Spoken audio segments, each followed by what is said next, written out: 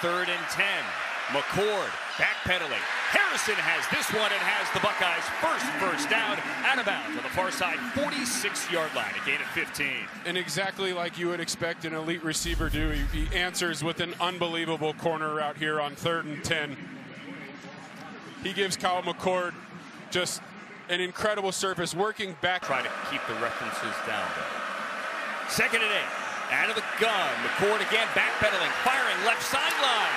Fleming fighting for it. No, it's Harrison, and he's got it inside the red zone to the 18-yard line, a gain of 34. You gotta like the call there by Ryan Day and the design. They've worked that out route two times in a row on the left side of the field. And Kyle McCord comes back and is able to deliver a double move to Marvin Harrison Jr. down the field on the out and up for a huge explosive play. That's a nice got. The tight end flanked wide to the bottom of the screen. Backpedaling. McCord lofting for the end zone. Caught. That's a touchdown. Marvin Harrison Jr.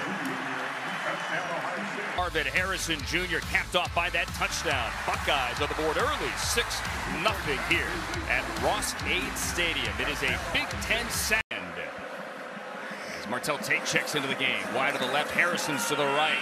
Marvin Harrison catches. Mar he makes a move. 30, 25. Marvin Harrison down the sideline. Dillon Thieneman, the freshman, pushes him out of bounds. But for Harrison, it's his fourth catch already today. And Marvin Harrison does a great job. One of the things Brian Hartline talked to us, like, what can this guy get better at? He's pretty much a lead at everything. He talked about running after the catch, and there they get him the ball quickly in his hands, and he does the rest, making the defender miss, getting the first down. Harrison already four for 77. Brian Hartline, former NFL wide receiver, also coaches these wideouts. The play fake to Johnson under pressure, train him. 35. Big collision at the 30. Certainly would train him on the sideline. And Hayden in the backfield. The court pulls it, and he runs. And for the sideline now, third and one. McCord on the keeper. And the Buckeyes are four for four today, early on third. Flying in just in case that ball was caught. With Alessandro on the coverage now on second down. This one's up the seam. That one's caught by the big tight end, Cade Stover. Fumbled to end Ohio State's last possession as he was going in. McCord comes back and goes right to the is down. This is a very different looking Ohio State offense today. McCord to throw. Stover has another one. Stover into four. Third and goal.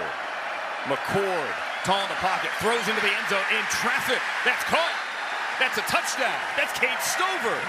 And Grant's going to be the right guard when Purdue is the Buckeyes back on the field, and McCord's going to throw on first down. How about drive missed a field goal? His game closed the first half with a good drive, and again missed a field goal. The Buckeyes open. Would have catch it here to bring up a short second and one. Could not catch it to open up the game, and now McCord with a little trickery hits Johnson on the rollout. Xavier Johnson breaks a tackle.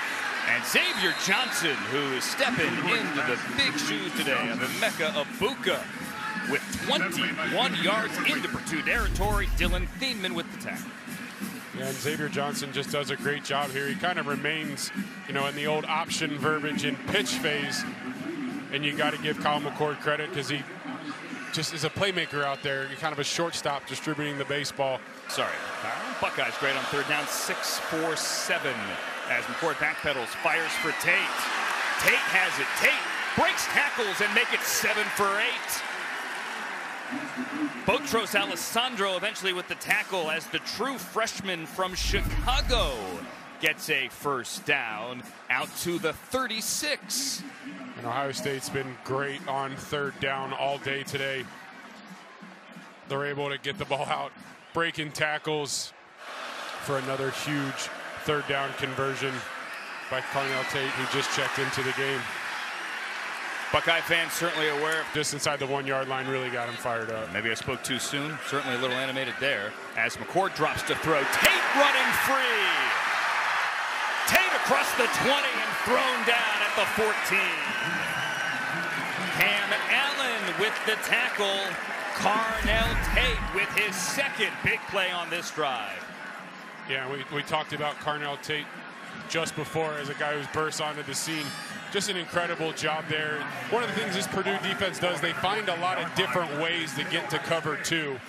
They try to disguise it, make it hard on the quarterback to see. That's a great job by a true freshman wide receiver. And a gain of 60 to put him inside the 15. And now McCord throws another one. Cade Stover has his second touchdown today. You know this tight end loves seeing the tight end get involved.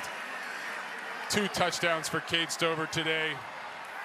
Again, it's uh, it's all set up off of the ability for this offense to run the football. Cade Stover's a guy, you don't know if he's going to run block. They go the hard run action right at him, and he kind of sneaks his way through kick of the game. No, but he got the job done here as McCord is still in there and finds Harrison, who is still in there, who has room and a head of steam down the far sideline. Them an opportunity to maybe try to go for this third down conversion. They're going to throw on third and 12. It's